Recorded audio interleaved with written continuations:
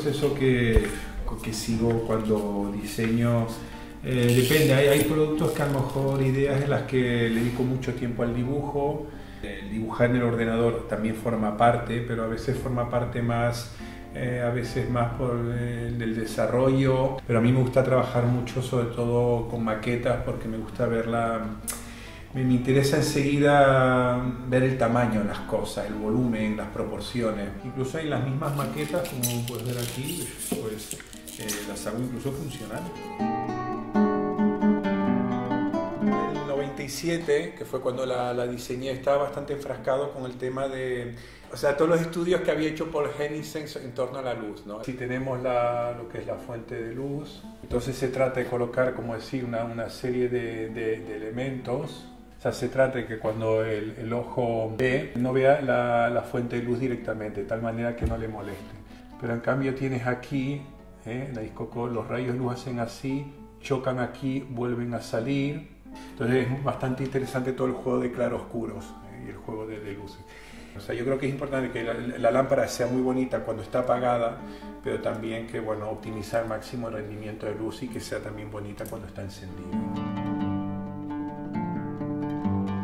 No queríamos que fuese una lámpara con aspecto quizás viejo, ¿no? sino tenía que ser una lámpara realmente contemporánea, con una tecnología contemporánea. Ahí Marcel, junto con el departamento técnico y cuyo responsable es de Daniel López, diseñó estas piececitas de plástico inyectado que hace que se meten aquí dentro, ¿eh? entran a presión, hace clic y después también permite que el alambre entre aquí eh, y queda, queda sujeto. La cuestión es que esta, esta lámpara se entrega al cliente totalmente desmontada en una caja y él mismo la monta y es muy fácil de montar sin necesidad de ningún tornillo ni nada. ¿no?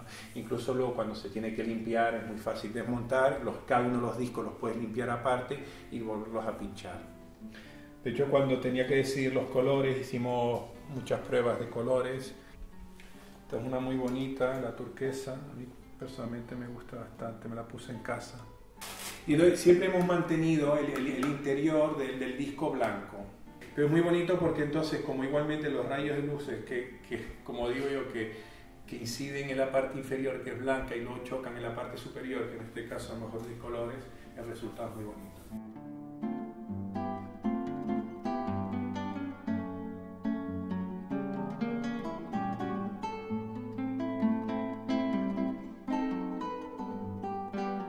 Creo que Barcelona, eh, no sé, se re, reagrupan una serie de, de, de, características ¿no? que la hacen en ese sentido, como calidad de vida, yo creo bastante idónea. ¿no? Tendrá sus efectos, ¿no? como cualquier lugar, por supuesto.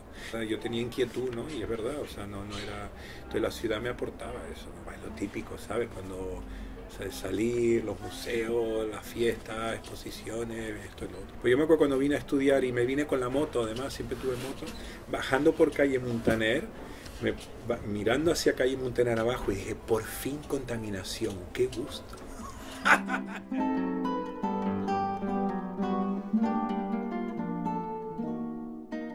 El deporte te da disciplina, te da constancia, ¿no? Y después te, te hace bueno, cuando sales de, entrenar, bueno, yo hago natación, pero otros hacen otra cosa, ¿no? Con la gente que se dedica así a un deporte, todos lo dicen. No, incluso, sinceramente, ya sé que a mí me ha ayudado en momentos bajos, pues yo lo último que dejaba era seguir yendo a la piscina.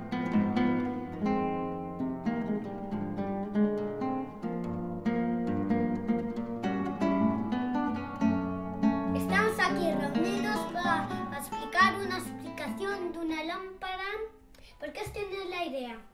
Bueno, pues estaba un día así pensando que necesitamos una lámpara. Ah, sí. Y dijimos, uy, ¿cómo la podemos hacer? ¿Eh? Y entonces, nada, empecé a poner, eh, empecé a pinchar cosas, encima una bola, y empecé a pegar unos discos, puse una bombilla. ¿Y cómo lo hiciste? ¿Que cómo la hice? No, ¿cómo hiciste los agujeritos? Ah, bueno, esta, bueno, esta lámpara no la hago yo, eh, no la fabrico yo, la hace Marcet, es la empresa que hace la, la que la fabrica.